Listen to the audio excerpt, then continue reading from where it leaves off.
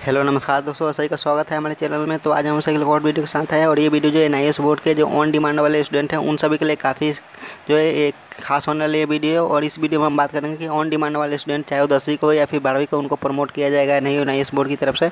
तो अगर आप एन स्टूडेंट है तो आप हमारे चैनल को भी सब्सक्राइब कर लीजिए बेल आइकन को भी प्रेस कर दीजिएगा। तो आइए चलिए देने करते आज के वीडियो को हम शुरू कर लेते हैं। तो सबसे पहले मैं आपको बता दूँ कि ऑन डिमांड वाले में वही स्टूडेंट एग्ज़ाम देते हैं, जो कि प्रीवियस ईयर में जो, जिनके सब्जेक्ट में दो सब्जेक्ट तीन सब्जेक्ट या फिर इवन चार सब्जेक्ट में जो वो फेल हो गए हैं। वहीं लोग जो है वो ऑन डिमांड में एग्ज़ाम देते हैं। और मैं आपको यहाँ पे एक चीज़ क्लियर कर दूँ कि ऑन डिमांड का एग्ज़ाम जो है वो अप्रैल और जो आपका सितंबर में ऑन डिमांड का एग्ज़ाम नहीं होता है। ठीक है तो ऑन डिमांड यहाँ पर जो भी स्टूडेंट ऑन डिमांड का एग्ज़ाम दिए होंगे, उनका डेट फरवरी से लेकर के मार्च के बीच वो अपने अकॉर्डिंग जब फॉर्म भरिएगा ऑन डिमांड का तो आप अपने अकॉर्डिंग से जो डेट जो है सिलेक्ट कर सकते हैं। तो मैं आपको बता दूँ, अभी कई सारे बच्चों को जो है वो ऑन डिमांड वाले का एग्ज़ाम नहीं हुआ है, जो कि प्रीवियस ईयर में जो फेल हुए थे और ऑन डिमांड के लिए ऑन डिमांड एग्ज़ाम के लिए जिन्होंने अप्लाई किया था।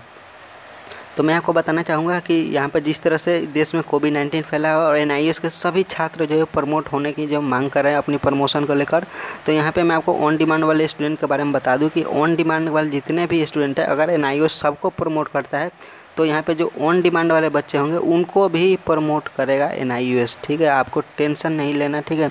मैं आपको बता दूँ कि एन आई जो ऑन डिमांड होता है, उसमें टी में नहीं होता है। अगर आपने प्रीवियस जस्ट लाइक आपका एग्ज़ाम जो सितंबर में था, उसमें अगर आपने टी में सबमिट किया हो तो किया होगा तो आपके वही मार्क्स जो है वो दे दिए जाएँगे, ठीक है?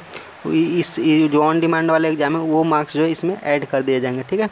तो अगर यहाँ पे, अगर आपको जो, मान लीजिए सभी बच्चे को जो प्रमोट किया जाता है तो यहाँ पे जो ऑन डिमांड वाले बच्चे होंगे, उनको भी प्रमोट किया जाएगा। आपको टेंशन आपको टेंशन लेने की जो है वो ज़रूरी नहीं है, ठीक है? तो ये थी आज की वीडियो। उम्मीद करता हूँ आपको वीडियो पसंद आई। वीडियो पसंद है तो आप चैनल को सब्सक्राइब कर लीजिए और साथ ही साथ जो है वो बेल आइकन को भी प्रेस कर दीजिएगा।